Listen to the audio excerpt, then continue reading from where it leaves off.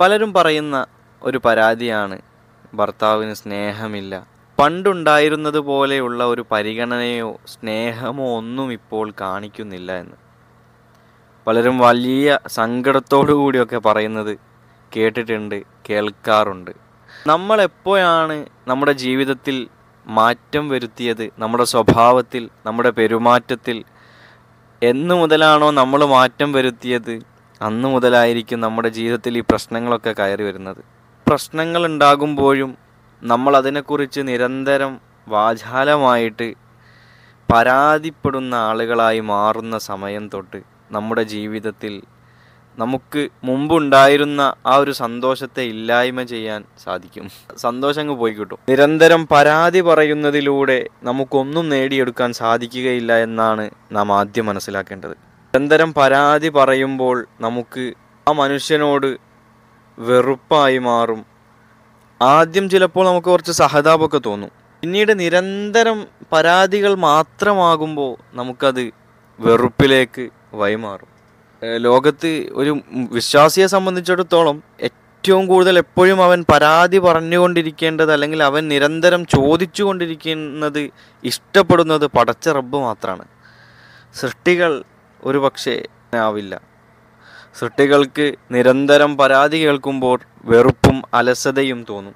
നിങ്ങൾ എപ്പോഴും നിങ്ങളുടെ ജീവിതത്തിൽ പോസിറ്റീവ് നിറയ്ക്കാൻ സാധിക്കുന്നുവോ? പോസിറ്റീവ് സ്ട്രോക്കുകൾ നിങ്ങൾക്ക് എത്രമാത്രം നിങ്ങളുടെ പങ്കാളികൾക്ക് നൽകാൻ സാധിക്കുന്നുവോ? അത്ര കണ്ട് നിങ്ങളുടെ ജീവിതത്തിൽ നിങ്ങൾക്ക് സന്തോഷത്തിന്റെ അത്ഭുതങ്ങൾ സൃഷ്ടിക്കാൻ സാധിക്കുമെന്നുള്ളതാണ്. നിങ്ങളെപ്പോഴും പരാതി പറയുന്നവരാണെങ്കിൽ നിങ്ങൾ മറ്റുള്ളവരെ പറ്റിയുള്ള പരാതി അതല്ലെങ്കിൽ നിങ്ങൾക്ക് ലഭിക്കാതെ പോയ നിങ്ങൾക്ക് കിട്ടാതെ പോയ ഏതെങ്കിലും ഒരു കാര്യത്തെപ്പറ്റി നിങ്ങളുടെ മക്കളെക്കുറിച്ച് കുടുംബത്തെപ്പറ്റി നിങ്ങൾ നിരന്തരം ഭർത്താവിനോട് പരാതി പറയുന്നവരാണെങ്കിൽ സ്റ്റോപ്പ്. നിങ്ങളത് നിർത്തുക.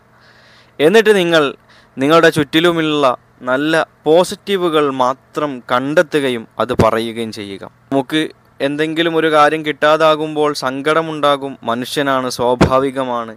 ആ സങ്കടങ്ങൾ തന്റെ ഭർത്താവിനെ ബോധിപ്പിക്കണം. പക്ഷേ നിരന്തരം സങ്കടങ്ങൾ മാത്രം പറയുമ്പോൾ അത് വെറുപ്പിലേക്കും പിന്നീട് അത് ഒരു അലസതയിലേക്കൊക്കെ വഴിമാറുകയും അങ്ങനെ ആ സ്നേഹം ഇല്ലാതാവുകയും അവരെ കാണുന്നത് പോലും വെറുപ്പായി തോന്നുകയൊക്കെ ചെയ്യുന്ന സാഹചര്യങ്ങളിലേക്കാണ് എത്തിപ്പെടുന്നത്. അതുകൊണ്ട് നാം നമ്മുടെ ഭർത്താവിനോട് സംസാരിക്കുമ്പോൾ നല്ല പോസിറ്റീവുകൾ മാത്രം സംസാരിക്കുക മക്കളെ പറ്റിയുള്ള നല്ലത് മാത്രം സംസാരിക്കുക എപ്പോഴും പരാതി പറയുന്നത് മാറ്റി നിർത്തുക. ഇനി നിങ്ങളുടെ മനസ്സിൽ ഒരുപാട് സങ്കടങ്ങളുണ്ട്. ഇതൊക്കെ എന്തു ചെയ്യും? ആരോട് പറയും?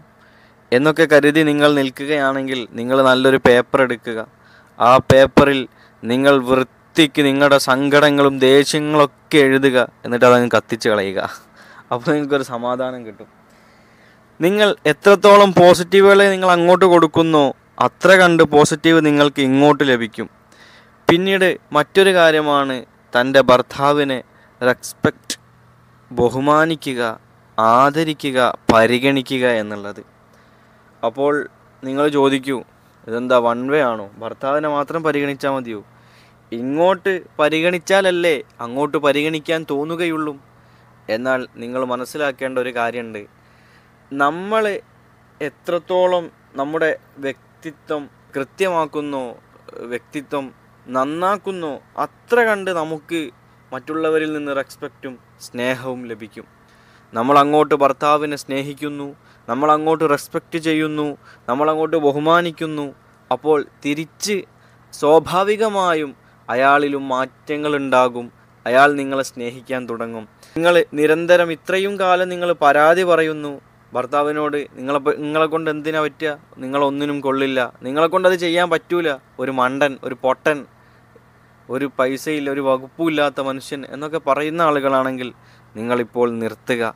എന്നിട്ട് ആ വാക്കുകൾ നിങ്ങൾ ഒരിക്കലും നിങ്ങളുടെ ജീവിതത്തിൽ ഉപയോഗിക്കാതിരിക്കുക. നിങ്ങൾ പോസിറ്റീവായിട്ട് പോസിറ്റീവ് സ്ട്രോക്കുകൾ കൊടുത്തുകൊണ്ടിരിക്കുക. അത് നമുക്ക് നേടാം. അത് നിങ്ങളെക്കൊണ്ട് കഴിയും. അങ്ങനെ തുടങ്ങി നല്ല വാക്കുകൾ പറഞ്ഞു തുടങ്ങുമ്പോൾ നിങ്ങൾ ഇത്രയും കാലം വെറുപ്പിച്ചവരാണെങ്കിലും ഇത്രയും കാലം നിങ്ങൾ നിരന്തരം പാരവപ്പും പരാതിയും പരദൂഷണവും അതേപോലെ കുറ്റങ്ങളും മാത്രം പറഞ്ഞവരാണെങ്കിൽ നിങ്ങൾ ഇന്നു മുതൽ മാറ്റങ്ങൾ കൊണ്ടുവരിക.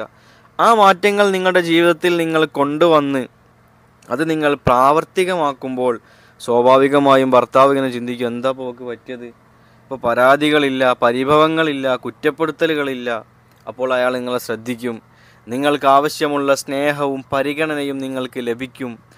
നിങ്ങൾ എപ്പോൾ നിങ്ങളുടെ ജീവിതത്തിൽ മാറ്റം കൊണ്ടുവരുന്നു?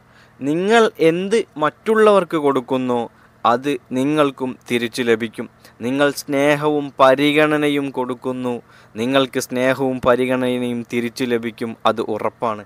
അപ്പോൾ നാം ഏതൊരു കാര്യം ചെയ്യുമ്പോഴും വളരെ ചിന്തിച്ചുകൊണ്ട് നമുക്ക് ഇടപെടേണ്ട മേഖലകളെ പറ്റി അറിയില്ല എങ്കിൽ ആ മേഖലയിൽ എങ്ങനെ ഇടപെടണമെന്നുള്ളൊരു അറിവ് നമ്മൾ ഉണ്ടാക്കിയെടുക്കുക.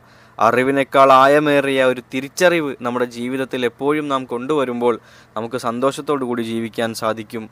അള്ളാഹു താല തൗഫീക്ക് നൽകി അനുഗ്രഹിക്കുമാറാവട്ടെ.